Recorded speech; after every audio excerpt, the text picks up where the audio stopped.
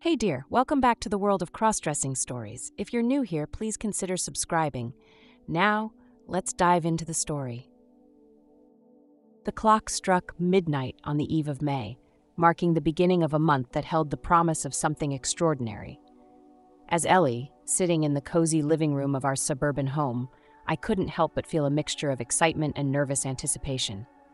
My 62nd birthday was just around the corner, and little did I know, my wife had a surprise that would turn an ordinary birthday into an unforgettable adventure.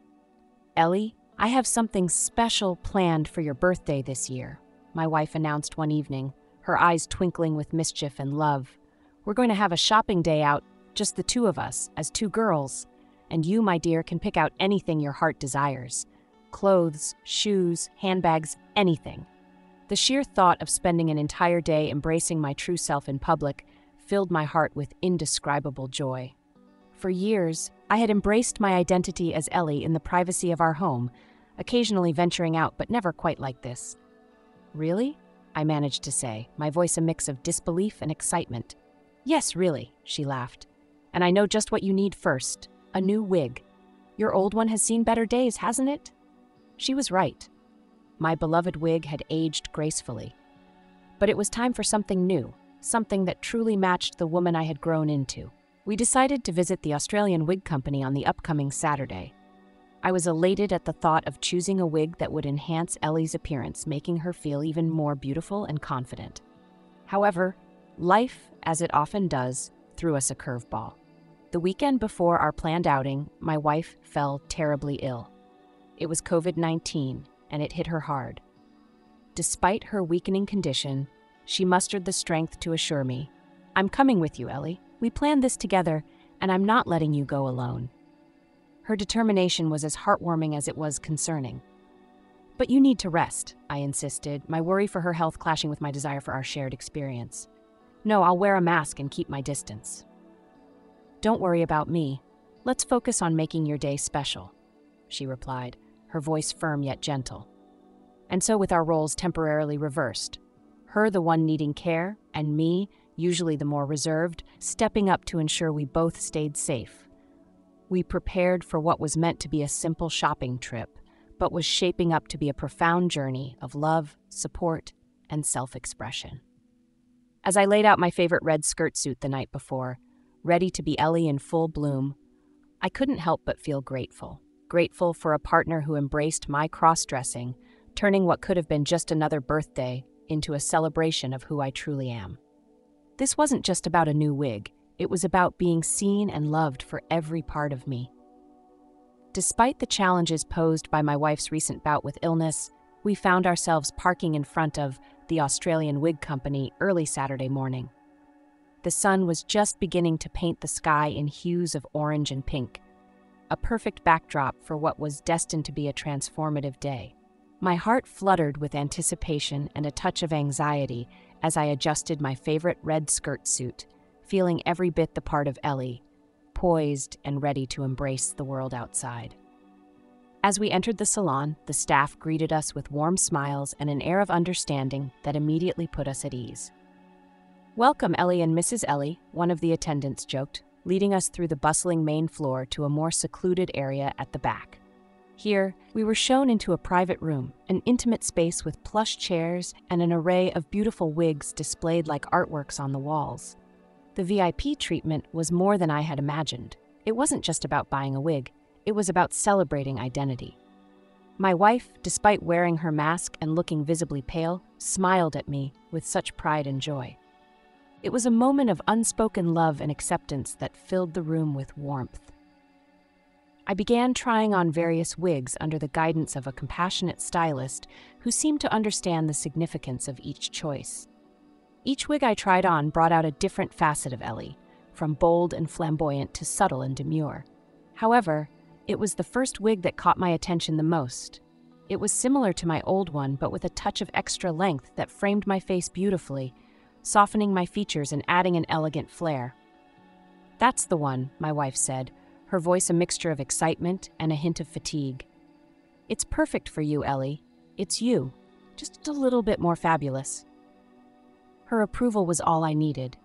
As she made the purchase, I could see the toll the day was taking on her, yet she pushed through, determined to make this day about more than her illness, about us, about me. With the new wig nestled in a box and our spirits high, we decided on a whim to stop for groceries on our way home. The idea of walking through a supermarket dressed as Ellie felt both daunting and exhilarating. But today, bolstered by the normalcy of the experience at the wig salon and the supportive presence of my wife, I felt ready to face the world. Stepping into the grocery store, I was acutely aware of every gaze, half expecting whispers or stares. But they never came. Instead, we were just two women going about our day. My wife leaned over at one point and whispered, See? Just another shopping trip. It was liberating. Each aisle we walked down, each item we picked up, added to my confidence.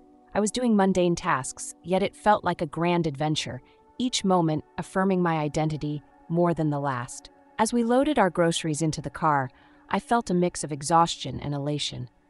The day had been more than just about getting a new wig or filling our pantry. It had been about stepping out into the world as my true self, with my wife by my side, turning a simple outing into a profound statement of existence and acceptance. The morning of my birthday dawned, clear and bright, a fresh start to what would be one of the most memorable days of my life.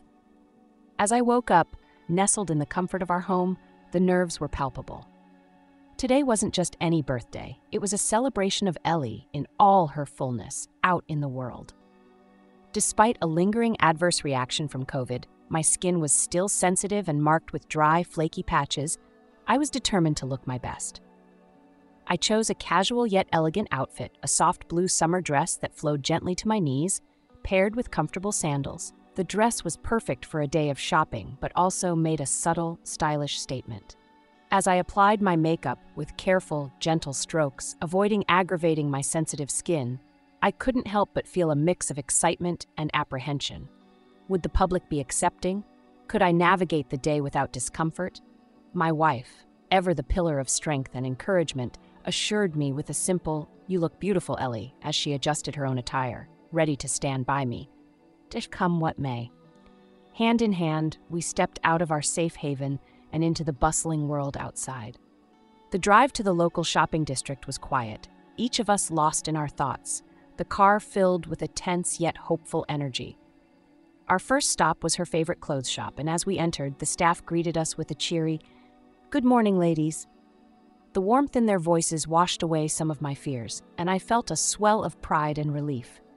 Throughout the morning, we visited several stores. In each, the kindness and normalcy of the interactions bolstered my confidence. I was not just Ellie in disguise, I was Ellie, a woman out enjoying her birthday with her wife.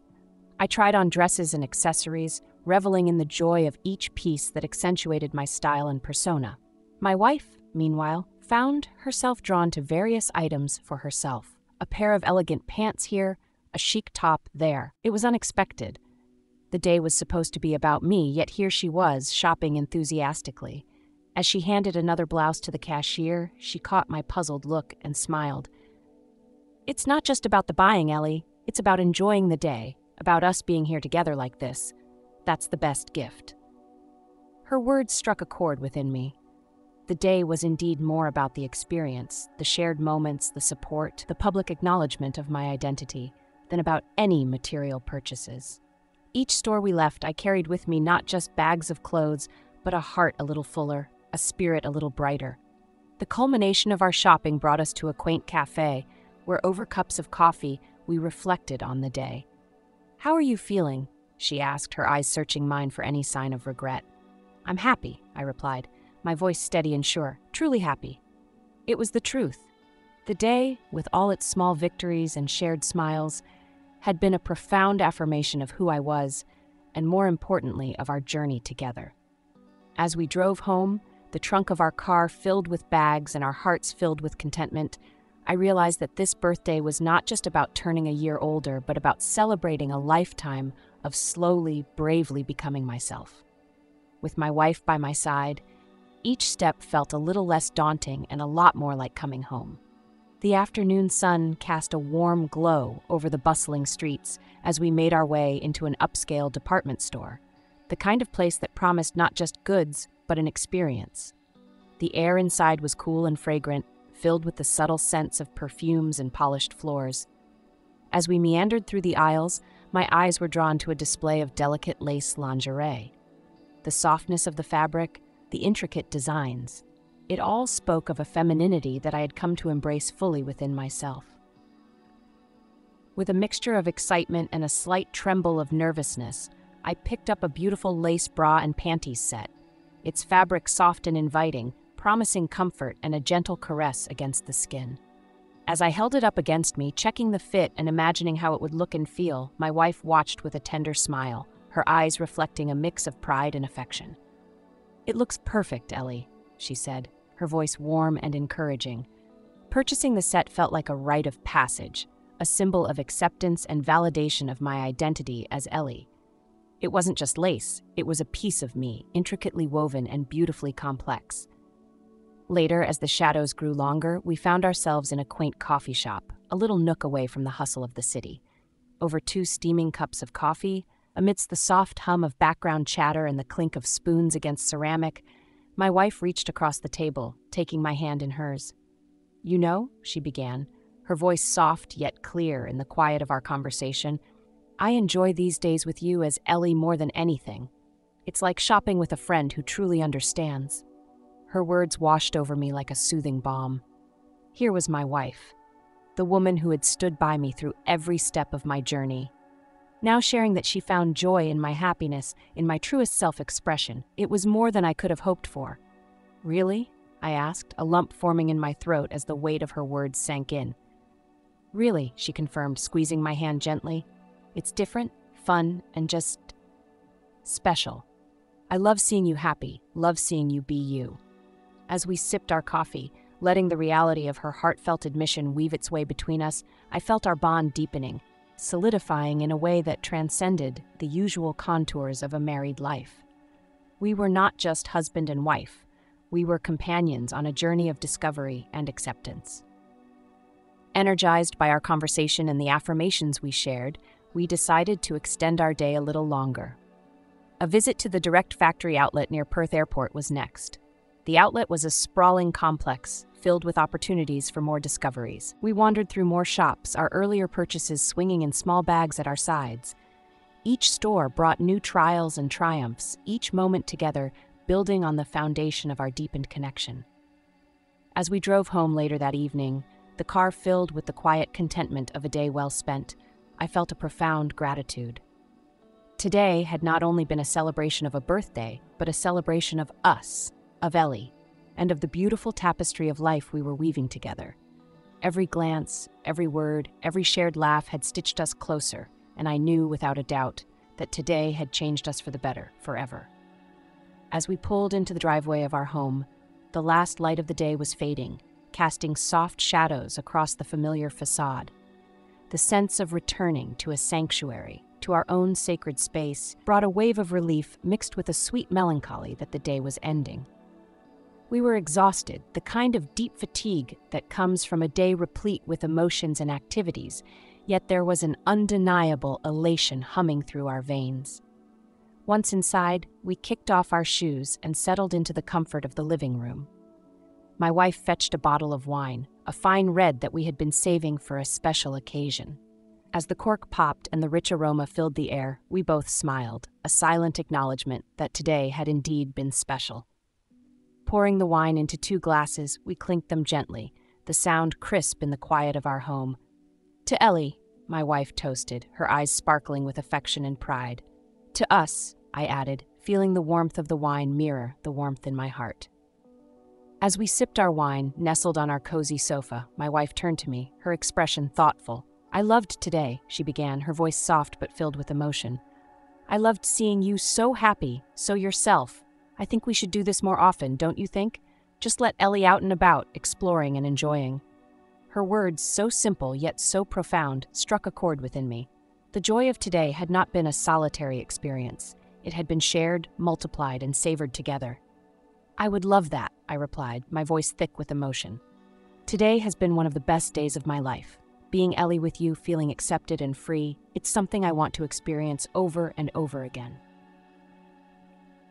We sat there for a while just reflecting on the day. It was not just about the clothes, the makeup, or even the shopping. It was about the freedom to be myself, the acceptance and love I felt not only from my wife, but from the world around us, albeit just for a day. It made me realize that life, even at 62, still held beautiful surprises. The world was changing, and perhaps, just perhaps, there was more room in it for someone like me than I had ever dared to hope. As the night drew to a close, I felt a profound connection not just to my wife, but to myself, to Ellie. The fears that had shadowed parts of my life seemed less daunting now. The future, once a static continuation of the everyday, now sparkled with potential for new adventures, for more days like today. Laying my head on her shoulder, I felt an overwhelming gratitude for the love and courage that filled our home. Thank you, I whispered, not just for the day, but for her unwavering support, for the journey she had embarked on with me, for the future we would continue to shape together. Tomorrow held no guarantees, but it shimmered with possibilities, and with her by my side, I was ready to meet it head on, as Ellie as myself, more fully than ever before.